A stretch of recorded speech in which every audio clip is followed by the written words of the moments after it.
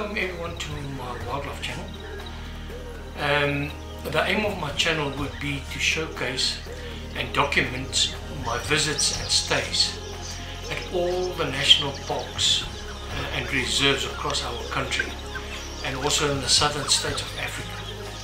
Making more people aware and sensitize them about our wildlife heritage. More will have the longing and the urge to visit the parks and the reserves across South Africa.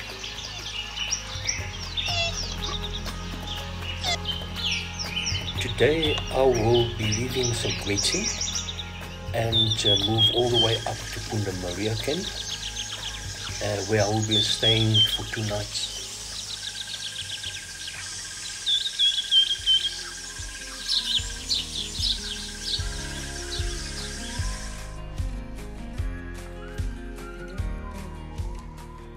One day I will spend driving up to Crook's Corner and also scouting the area at um, Pafuri side and all the surrounding areas.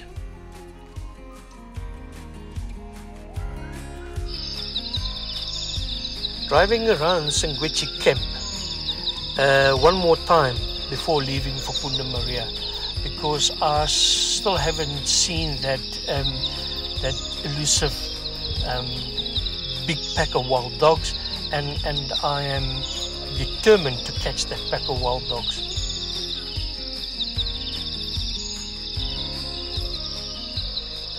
So, so what is planned for the seventh day uh, is that we would just scout around um,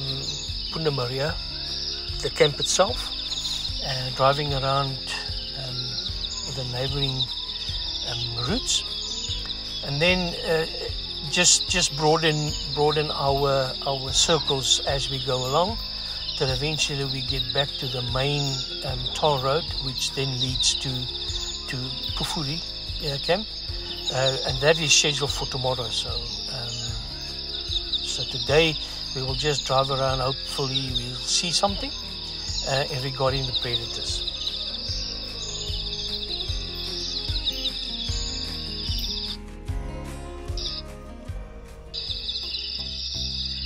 So as as I was driving the outer loop road uh, at um, um, it was it was a little bit rainy that earlier that morning, and then um, I got to one crossroad where where uh, the the the one actually the, the crossroad that I'm talking about is is a is a it's a it's a fire break that they make, uh, and then and then there's a there's the dirt road, and on that crossroad, that's where I met the pack of wild dogs.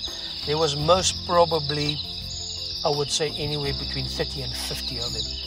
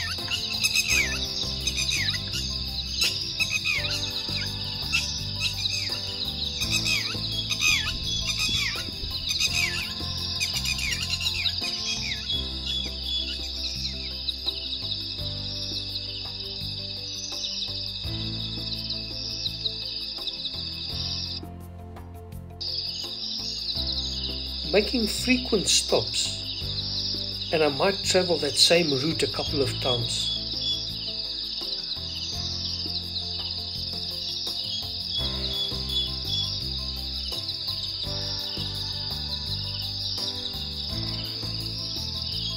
Travel all the loops in and around the camp is is a must because um, then at least you, you you don't you don't miss um, what's what's going around uh, in the camp vicinity. So that that's quite key.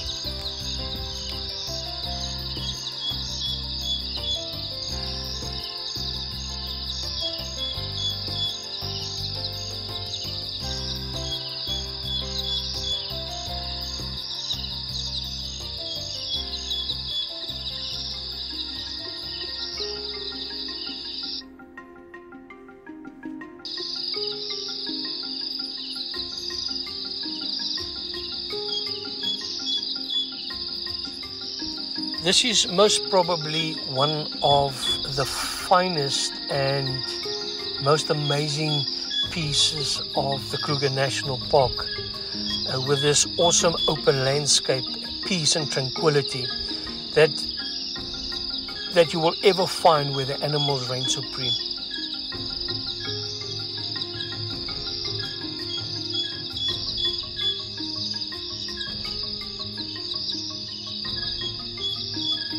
The route has been broken down um, as illustrated um, in this video.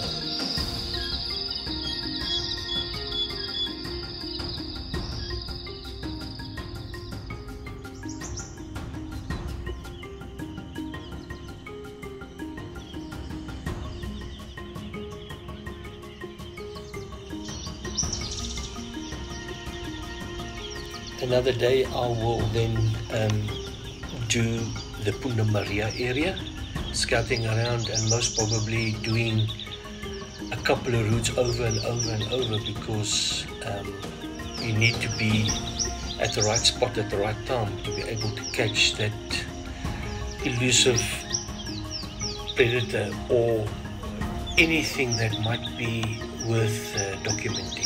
Um,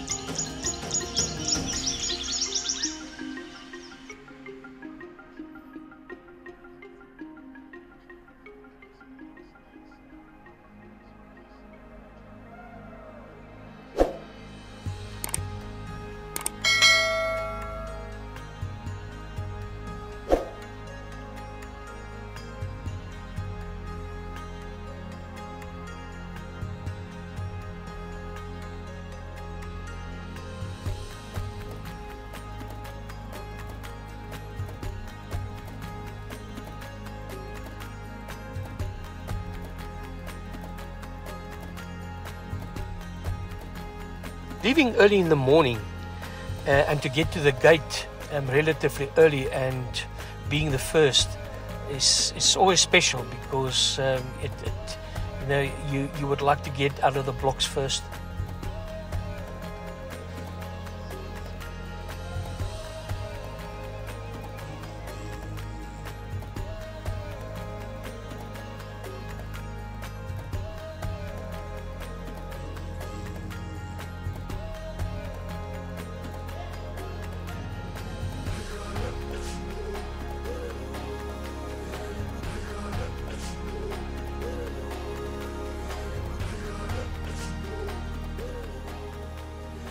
In order to catch that amazing footage, a person needs to be at the right place at the right time.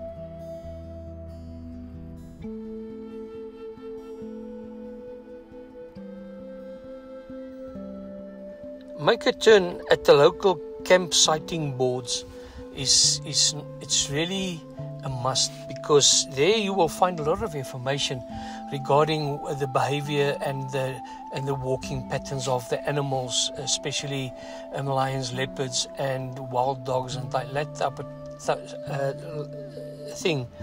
Um, so it's quite it's quite important to get to the sighting boards in time, and then. Um, I mean, what I do is I normally take a picture of the board with my phone, and then I, I got the stuff with me.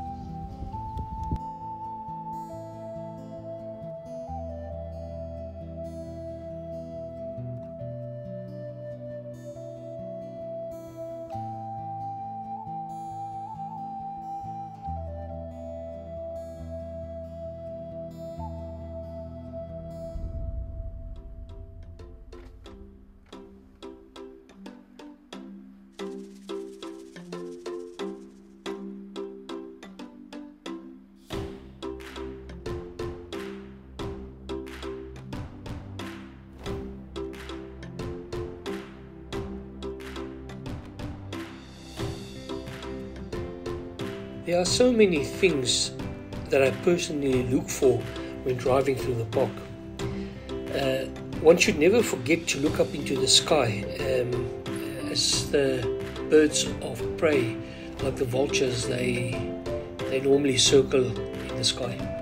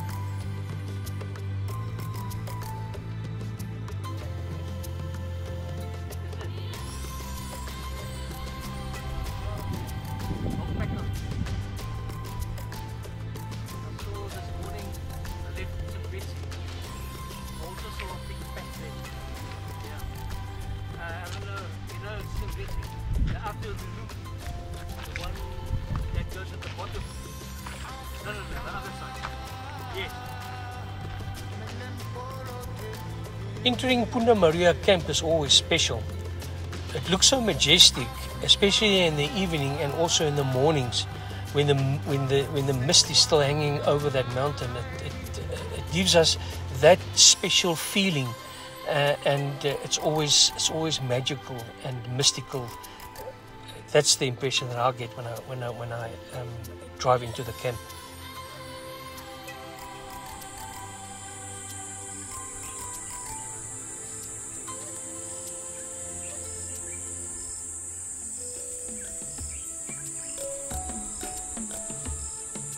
Let me talk a little bit about uh, Punda Maria Camp. It's the first time in my life that I've ever been to Punda Maria and the northern part of the Kruger National Park for that matter. But I can tell you I'm, I'm pleasantly surprised regarding the Punda Maria camp.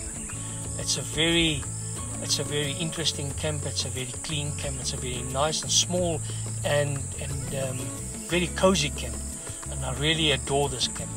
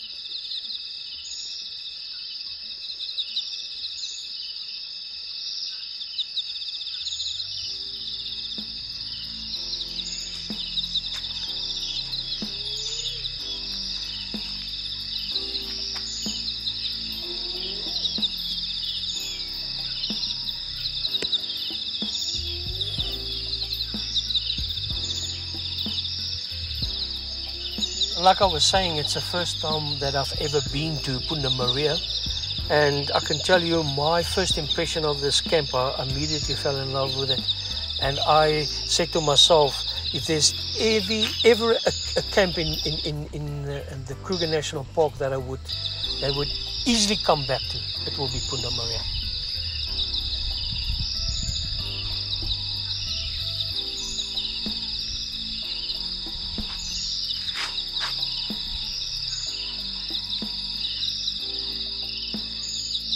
Driving around Punda Maria camp and also driving around inside the camp and, and walking around inside the camp is, is, is, is something that a person should see. It, it, it won't take you that long, but uh, it's quite interesting.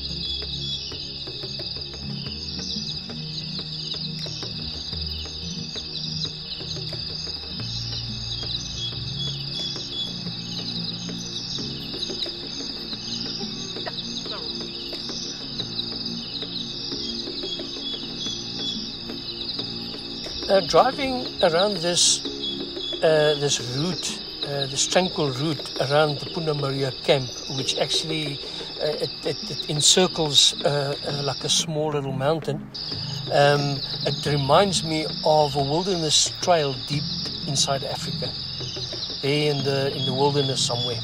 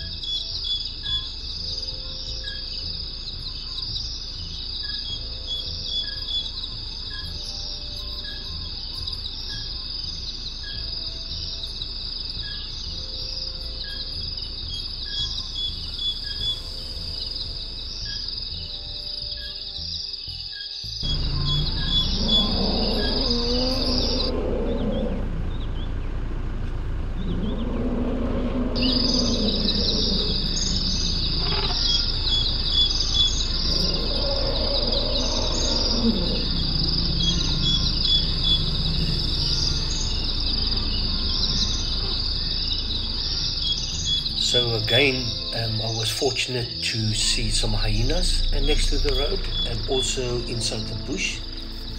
Um, this was also amazing, um, seeing them up close and um, operating the way that they do. It's just amazing. My second favorite wild animal, and uh, um, I just love them. See how they work.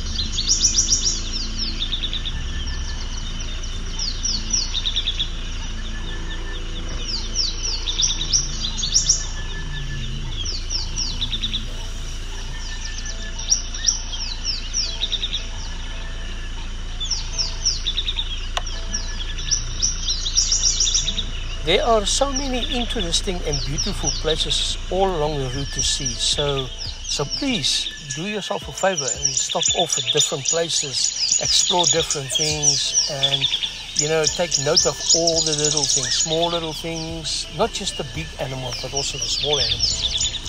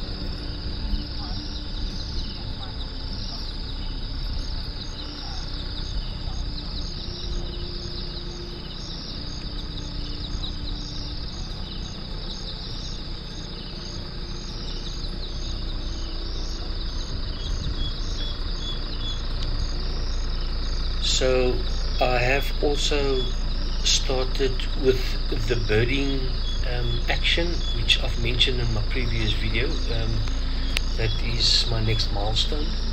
So I've started a little bit. It's going.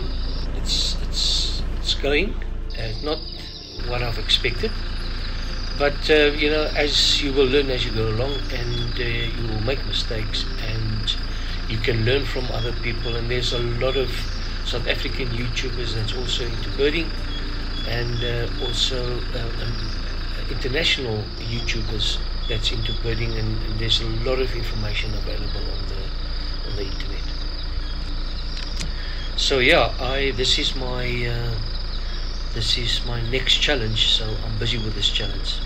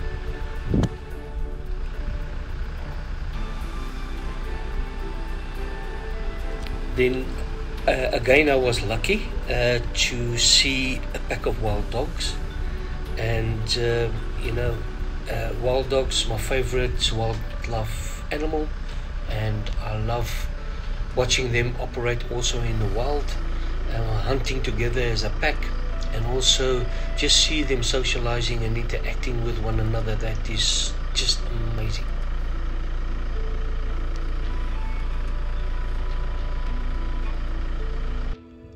I will also include some bonus footage taken um, through each and every day of my trip in the Kruger.